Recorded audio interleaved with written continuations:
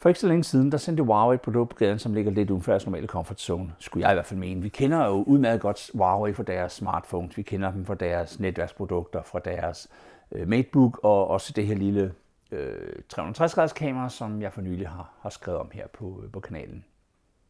Men de har lavet andre ting nede i deres udviklingslaboratorium i Shenzhen i Kina. Og en af dem er så lige kommet på gaden. Det er den her, deres body scale, som kan analysere din krop ud over bare din vægt. Det vil sige, at du stiger på den, og derefter så kommer den og fortæller dig vægt, BMI, det kender vi godt, den fortæller dig fedtprocent, den fortæller dig visceralt fedtniveau, muskelmasse, vandniveau i kroppen, proteinniveau osv. osv. Ni forskellige parametre lover den her lille vægt at give dig. Og det fik mig til at tænke, fordi Bodyscale fra Huawei koster omkring 500 kroner. Så hvor præcis er resultatet så? Og især taget betragtning af, at det tager omkring 5 sekunder at få resultatet. Så jeg, øh, jeg tog ned og fik scannet min krop. I en scanner, der koster små 40.000 kroner, fik jeg svaret på, hvad min fedtprocent er, min muskelmasse, min viscerale fedtniveau og alle de her ting, som Huawei-vægten også kommer og fortæller mig. Jeg skal lige sige, at hvor Huawei's øh, vægten den bruger omkring 5 sekunder på, på at give mig resultatet, så øh, tog den her analyse altså måske snarere 5 minutter. Så den bruger noget længere tid på at, at komme til, til et resultat. Forskellen var så også markant, hvor Huawei-vægten er fint nok i præcision, når det kommer til vægt og BMI, hvilket ikke er så overraskende. Øh, BMI er jo trods alt en udelukkende et, et spørgsmål om at, at, at, at tage forholdet mellem højden og vægten. Så rammer den ved siden af, når det drejer sig om fedtprocent, visceralt fedtniveau, muskelmasse, knoglemasse. og det er måske ikke så overraskende, Øh, men, men men det er stadigvæk noget, man skal være opmærksom på. Når du køber en vægt til 500 kroner, så får du altså bare ikke et produkt, der kan, svare, der kan modsvare, øh, der kan sammenlignes med et produkt til 40.000 kroner.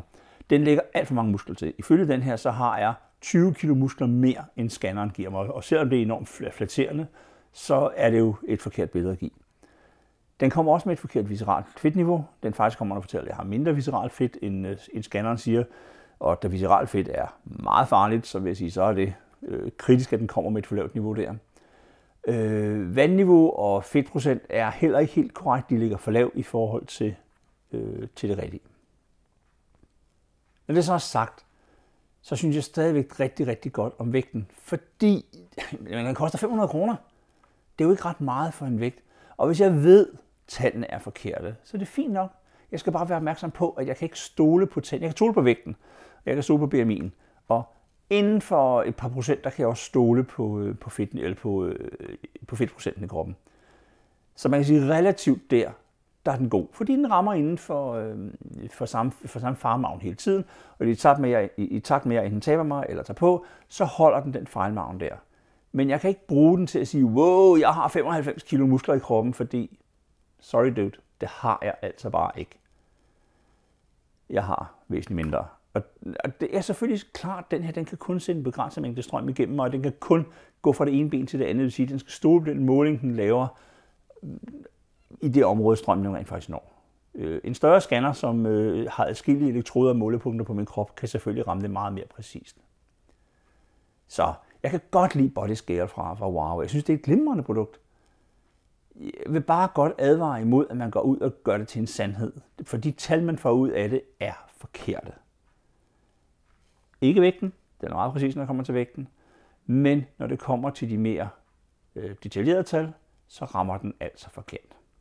Så på trods af det, en vægt til 500 kroner, der kan give mig en relativt kompliceret analyse, og som hvis jeg bruger den kun til at se, hvordan jeg udvikler mig over tid, så synes jeg, den er rigtig, rigtig god. Det er også derfor, jeg giver en 85% i min anmeldelse. Men lad være med at tro, det er sandheden, fordi det er det altså ikke. Den rammer forkert. Så Huawei Body Scale får 85% herfra, og jeg vil stadigvæk bruge den til at holde øje med mit eget niveau fra nu af og forhåbentlig lang tid fremover.